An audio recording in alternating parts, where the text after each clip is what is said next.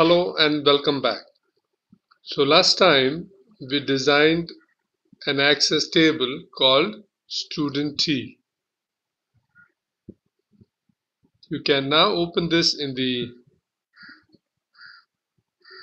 datasheet view and populate this with data, isn't it? For example, you could write your first name Jacob and if you notice one has already been entered here. This is an auto number.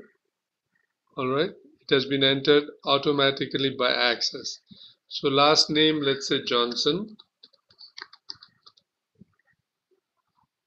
Press the tab key. So you could write here jj at email.com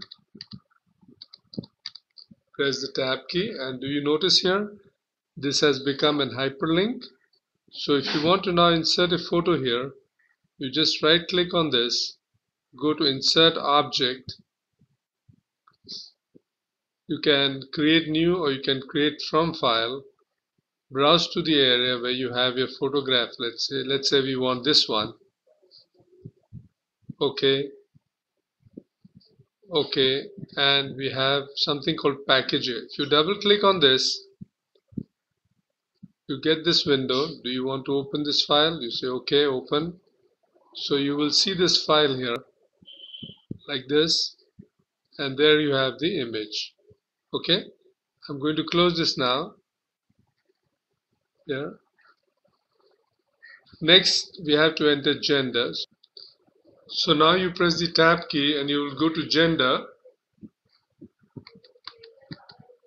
And here you can see that because we selected a lookup value we can click here and say okay let's say male when we press the tab key and we are here. We can select basic computing yes has a knowledge of basic computing date of birth. So you can write the date of birth or you can click here and you can get a calendar like this. That may take longer. So we will write here date of birth for example 01 20th 20th January let's say 1990 okay and we'll press the tab key. And you see here there is an area for attachment. So if you right click again manage attachments at the moment we have zero attachments. So you can add click on this. When you get something like this you can go to the appropriate folder. For example we can go to the hard disk drive C go to free access training double click on it and let's say we have this resume here open. And okay so this gets added. Do you notice this? If you double click on this you get this window again. So you can say open click on it and say open. And of course you can see the resume. Alright I'm going to close this now and we can say OK to this. Now we have filled this data here. The complete row has been filled. Often you would also have some data, let's say in a Word document or in Excel where you have been working for many years. So you can get that data also. Let me show you, for example, Word data. So I'm going to start Word and get that data for you.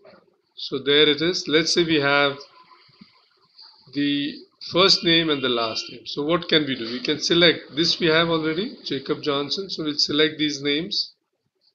Okay. We can right click and copy. We'll minimize this.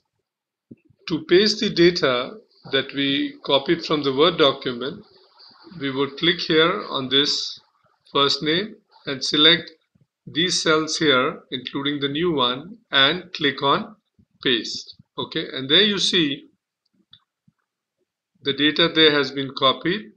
Are you sure you want to paste these records? We'll say yes. Okay. Now let's say you had more data in an Excel document. So could you get that here also? Yes. So we'll go here for example. And you see here in an Excel sheet we have for example this data here. So we can select this. Okay we'll copy this click here minimize this. So let's say we select now right up to this area and click on paste. And we get this message you're about to paste seven records. Yes. So you see you can not only enter your date manually one by one but you can also copy and paste data either from a word document which has data in a table or you can get data easily from an excel worksheet if you had this complete table organized like this for example in an excel worksheet you could then also get the complete data by going to external data and then importing it from here. Alright, so this is how you enter data. I'm going to enter more data into this which will include photographs, gender, basic computing and so on. And then we will see in the next video how we can sort and filter this data. I hope you found this useful. Thanks for watching.